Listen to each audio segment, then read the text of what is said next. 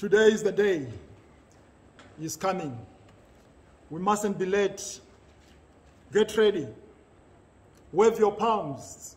Hosanna to the Son of David. Blessed is he. Blessed is the one who come in the name of the Lord.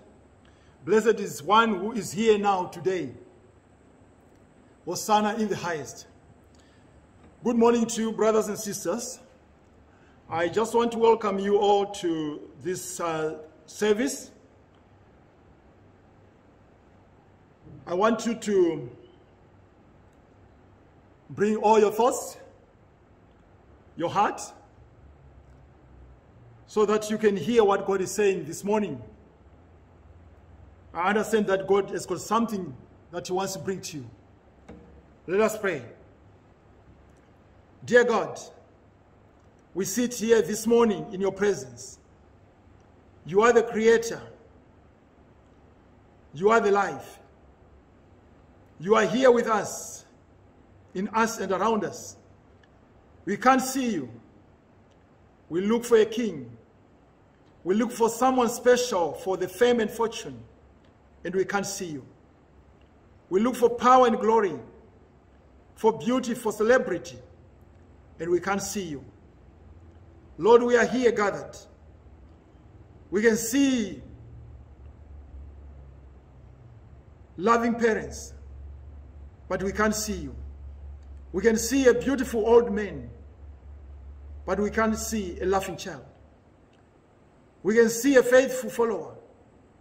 We can see a generous friend. We can see a caring relative, but we can't see you. Forgive us, Jesus. When we fall into the trap of seeing things through the world's eyes, we look for a king and find a carpenter on a cold. Help us to see through your eyes. Bless us this morning, Father. In your name I pray. Amen. I would call Brother Ben to come and read the word of God from the book of Mark, chapter 11, verses 1 to 11. 11. Mark chapter 11, verses 1 to 11. Thank you. Morning, family. It's great to he be here with you again. And uh, yeah, I hope you're all going well and blessed this week. I just uh, want to encourage you to keep praying. Uh, pray for Johnson, pray for the church, pray for wisdom, pray for uh, whatever God puts on your heart. But um, don't let it become stale. Just keep it renewed in the Lord. But yeah, this week we've got a really exciting verse for you out of Mark 11, 1 to 11.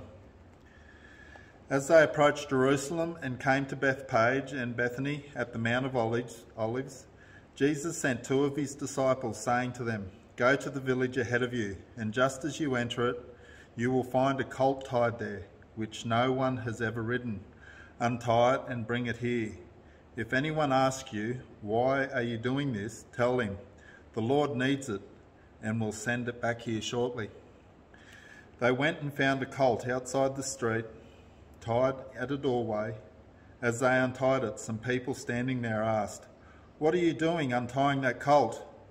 They answered as Jesus had told them to, and the people let them go. When they brought the colt to Jesus and threw their cloaks over it, he sat on it. Many people spread their cloaks on the, uh, cloaks on the road, while others spread branches they had cut in the fields. Those who went ahead and those who followed shouted, Hosanna! Blessed is he who comes in the name of the Lord. Blessed is the coming kingdom of our father David. Hosanna in the highest. Jesus entered Jerusalem and went to the temple. He looked around at everything, but since it was already late, he went out to Bethany with the twelve. And this is the word of the Lord, and yeah, really cool verse. I can't wait to hear what Johnson's got to share with us, so we'll get our brother and Reverend back here to give us a message. Thanks, Johnson. Thank you so much, Brother Ben, for the reading of the Word of God. Um, you know, I love parades. I think everyone loves a parade. And uh, anyone can be a bystander, but uh, it's a little something extra to participate in a parade. Uh, they gave Jesus a parade in Jerusalem, a city filled with bystanders. They were not men who were willing to participate in Jerusalem. That parade they gave Jesus was an insult.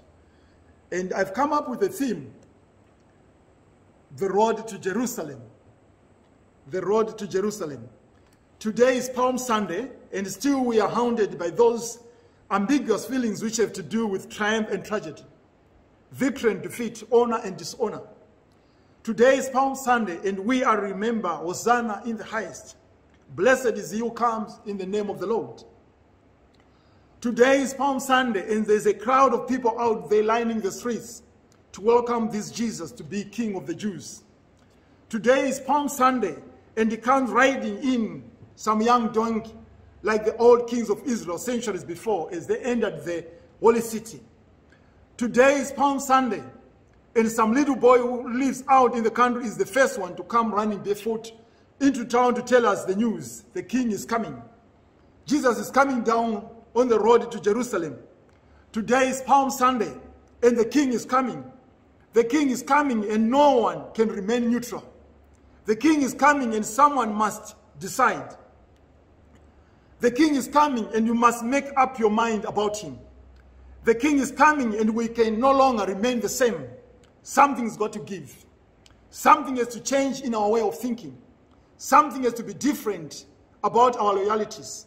Something has to be renewed about our commitment. If we want to be bystanders, parade watchers, palm waving, flag waving Christians who go home after the parade and forget it, then we can do just that. Drop in a $10 pay, our Jews, and have a good feeling. Be at ease and let the world go to hell. But let me warn you, if you are serious about this Jesus, if you want to be a participant, then you had better watch out and prepare yourself to get ready because these things are before us on this Palm Sunday. As we think about Jesus coming down the road to Jerusalem, would you be aware of these things? The king forces a desperate decision. That is one thing. No one can remain neutral about Jesus. We have to decide. To be neutral about Jesus is to be a past Christian. For many Christians today, church membership means no more than belonging to another civic club or fraternal order. They spend their lives in the middle of the road, the front of the bus, the back of the church, the upper level, the lower profile, the outer edge of the inner group. They would rather be lukewarm than warm-hearted. They would rather be contented with committed. They would rather save money than save the world. They would rather attend a Sunday brunch than a gospel feast. On the first sound, palm waving, Jerusalem was full of them, those who would live their lives in neutral gear. But we cannot live a life in neutral gear. No one living in a neutral gear ever moved forward, or climbed a hill, or had a dream or caught a vision. There comes a time for every person to make a decision. Palm Sunday is a reminder that Jesus confronted Jerusalem with a decision. And Palm Sunday means that Jesus confronts us with that same decision today. Some of us had a hard time deciding which crowd we want to be in. The large crowd of bystanders who watched the parade or the small crowd of participants who marched with Jesus. Will Rogers once said, everyone wants to go to Rome to see where St. Peter is buried, but nobody wants to live like him. Many people would like to go to the Holy Land, to Israel, to see where Jesus lived, but so many people will not let him live in their hearts. Almost every person in this country believes in God, but how many people really put God first in their lives?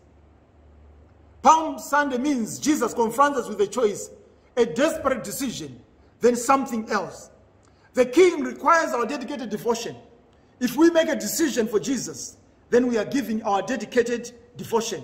That is what it makes to take, takes to be a Christian in today's world. It was that way from the beginning. Those 12 disciples were there with him. Jesus did not face Jerusalem alone. They were with him not as tag alongs, but as his follow, loyal followers, willing to face Jerusalem with him. It is true they did not understand all that was going on. It is true they would not be able to stand up under the stress of that week. They would sleep, deny, betray, hide, and lose their faith. but if they were there and they were devoted to Jesus. They dedicated their lives to Him. That is what Palm Sunday requires of us. It is as difficult to be a Christian today as it has ever been. The followers of Jesus have always been a minority. We are in the minority today, and there are so many things today which compete for our attention. We are bombarded by day in, day after with the idea that we can be happy, satisfied, forever young and beautiful and well-adjusted children, and they never have had heartburn, indigestion, gray hair, headaches, or a ring around the collar if we will just spend our money on all the stuff. That is a lie. That is a lie. We are told that our status, our value, our reputation, our worth is found in what we eat, drink, wear, drive, and where we travel for fabulous vacations. It is a lie. I think I read in the New Testament about a man who filled up his barns and then tore them down to build new ones, to fill up again. Then he said to himself, I have made it. Jesus said that man was a fool.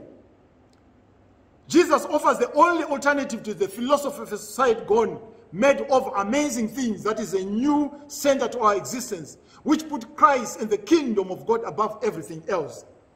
Jesus offered Jerusalem that choice on that first palm waving. That choice is before us today. We can choose to be dedicated disciples who devote all we are to Christ in the kingdom. We can choose to sing the song and live the life of dedicated devotion. That choice is before us today. On this Palm Sunday, then something else. The king offers a dangerous destiny. That is the third thing. If we make a decision for Jesus and give him our dedicated devotion, then we are head for trouble. It does not solve all our problems. It could create more. It does not make life easy. It makes more things difficult. It does not make things simple. It makes some things more complicated. It does not bring reward of riches. It costs us everything. It does not assure us of anything miraculous. It leaves us to struggle with the mundane. It is dangerous to be a Christian. Jesus had spelled out what it means. Deny yourself, take up the cross and follow me. He had been telling the disciples all along that he was going to Jerusalem to face the cross and there would be a cross for them. As they got closer to Jerusalem, James and John came up to Jesus and asked for a place of honor on his right and on his left. Jesus assured them they would have a place, but it would not be what they thought. They would have to drink from the same cup from which he would drink. Their destiny as disciples of Jesus was to be a dangerous one. So as Christians today, everything is not sweetness and light. We have a dangerous destiny. If we save this king, we must be willing to give ourselves, to take a chance and never count the cost. God is calling us to be his witness in today's world. For there is no private Christianity. He is calling us to be his servants. For there is no sideline Christianity. He is calling us to be his church. For there is no uninvolved Christianity. That is before us today. You need to be involved. A missionary home on leave was to spend several months speaking in churches. In order to help people understand where he was serving, he decided to purchase a globe of the world. He went in a store and looked at several. The clerk showed him one which had a light inside. And the clerk said, of course the lighted world costs more. The missionary answered, yes, I know it does. A lighted world costs everything. Would you like to have a lighted world enough to give all you are and have? In, in, enough to join Jesus out there on the road. When the Salvation Army first went to India, the British authorities were concerned about them and issued an order that no open meetings, no parades were to be held. But Commissioner Tucker of the Salvation Army decided that, the, decided that order must be defied. One of the Salvation Army came marching down the street.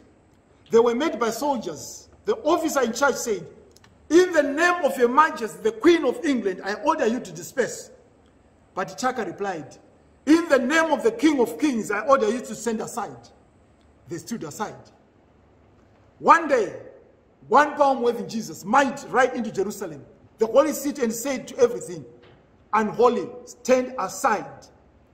He is calling us to join him in the parade and to say to every form of hatred, ignorance, apathy, stand aside.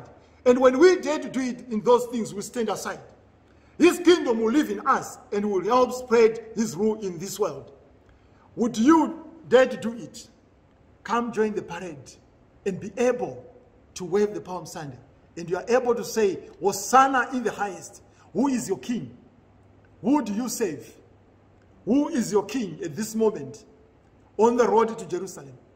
Yes, I know there are some people who are waving the, the branches, but remember, it's Palm Sunday. Friday is coming. Hosanna in the highest. At the same time, there will be people who will be saying, Crucify him! Crucify him! Friday is coming. Today is Sunday, but Friday is coming. There are some people who are going to deny him. Who is your king?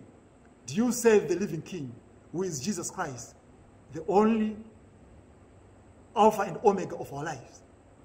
May the good Lord bless you as you listen to this message, as you meditate upon it, as you think about it. Who is your king on the to Jerusalem? Jesus is king, king of all kings. God bless you. In Jesus' name, amen. Let us pray.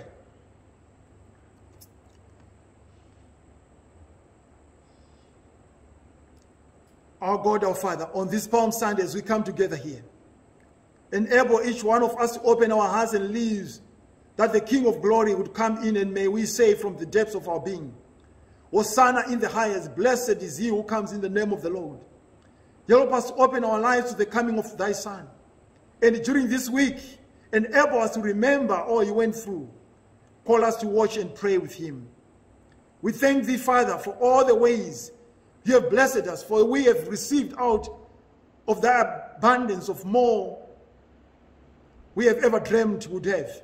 We have seen thy hand at work in our lives to bring about good for us, to bring hope out of struggle, peace out of suffering, strength in the midst of our struggles, and the light of thy love as thy shining along with the path we have traveled.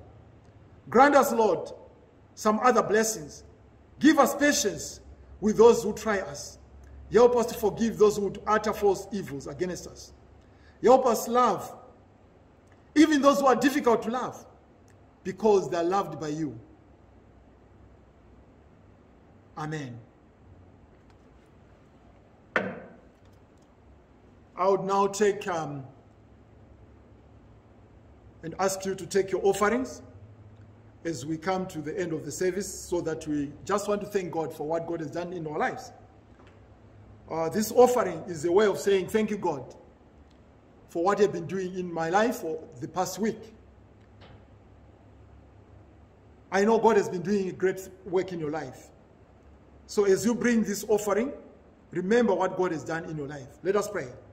Heavenly Father, we know what you've done in our lives. For these past seven days, there are a lot of things that we can give testimonies, one after another, of your greatness, Father. Father, I just want to thank you for the things that you've done in our lives. As we bring our offering, Father, we remember who you are. And we just want to say thank you, Father, for the love you have shown upon us, for your protection and your guidance within our own families. A lot of things have been happening in our families. And we just want to say thank you, Father. Thank you, Lord, for this wonderful opportunity you have given us. Bless our offerings. Bless every one of us. In your name I pray. Amen. Let me give grace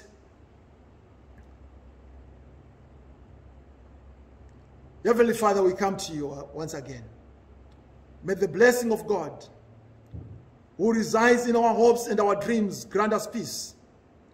May the blessing of Jesus, who rise to wild acclaim and waving palm branches, grant us peace. May the blessing of the Holy Spirit, who holds us through fears and nightmares, grant us peace and the hopes and dreams of the dawning of Easter morning. May you continue to bless us, Father. In your name I pray. Amen. God bless you all, brothers and sisters. May you continue to rejoice in this Easter week or a whole week. God bless you all. Amen.